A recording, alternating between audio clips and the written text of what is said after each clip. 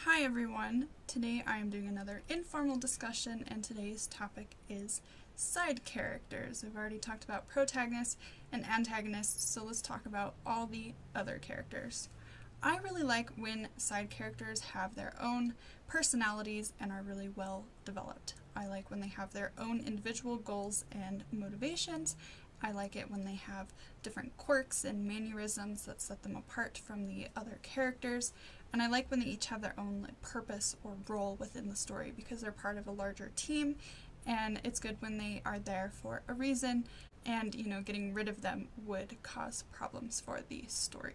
I also really like it when they demonstrate agency. I don't need to see the side characters demonstrate as much agency as the antagonists and protagonists, but I do like them to make their own decisions at points across the story.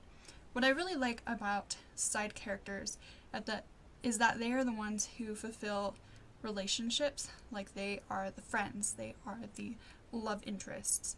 If my favorite character in a story is not the antagonist, it is almost always the love interest. Not always, but a lot of times it is the love interest. So I generally really like the side characters and I really enjoy reading about them. So some examples of different stories that have lots of side characters that I enjoy. One is Harry Potter. I think this is one where the side characters kind of steal the show. I really like Sirius Black and the Weasley twins. I think they are all really well developed. I like watching them in the stories.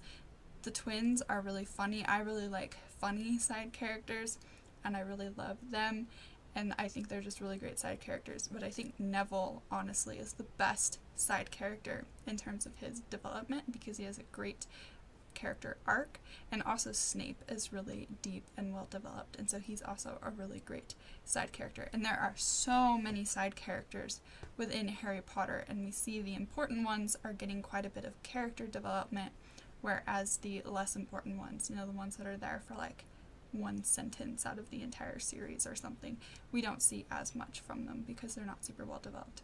Just like Draco Malfoy is also really well developed because we see him consistently throughout.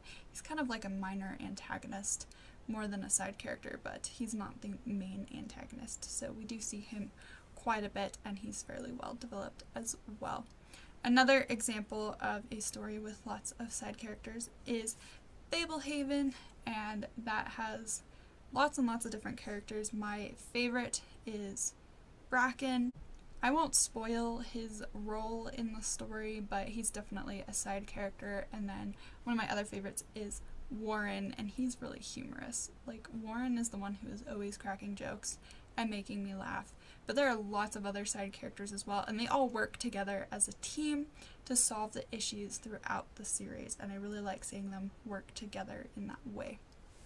And then the last one I want to talk about is the Lord of the Rings, and that's because you have like the Fellowship. You have this group of nine individuals working together, and you know, not all of them can be the protagonists, so they're all side characters. And so you have like Legolas and Gimli and Merry and Pippin are all really great. Merry and Pippin definitely get more character arcs and development than Legolas and Gimli do. I really would have liked to know more about Legolas and Gimli as characters, and we really don't get that. I think the movie honestly does a better job of really showing their characters than the book does, which I know that's probably an unpopular opinion, and I probably just made some people angry, but that's just how I feel. But again, we're seeing all these really great side characters within the story. Within like Disney movies, you have lots of the animal friends that are side characters too, and I think those are fun as well. Like in The Little Mermaid, you have Flounder and Sebastian. What would that movie be without the cute little animal friends? So side characters are really fun. They really add to the story because you don't want to just have the protagonist and the antagonist. That's no fun. You want your protagonist to have friends and love interests and family members and allies to help them on their journey, and then you want to have the antagonist have allies as well that help them, and then also have people who are like in between where maybe they're not siding with one or the other, but they're still posing problems to one or both of them. So that's really all I have on side characters. I just like seeing some development within them if they're going to be sticking around for uh, large portions of the story. And I really like stories that have large casts where everyone's working together as a team. And I really like seeing the side characters have their own you know goals and motivations and seeing them have their own arcs too because it's not all about the protagonist and the antagonist. Like the side characters are cool too one thing I do not like seeing, however, with the side characters is at the end of the story, usually the protagonist ends up getting their love interest. And I really don't like it when all the side characters get love interest too, like even if it's among each other. I don't like it when everyone couples up at the end. I think they should maybe not all do that. It's not all about relationships and love.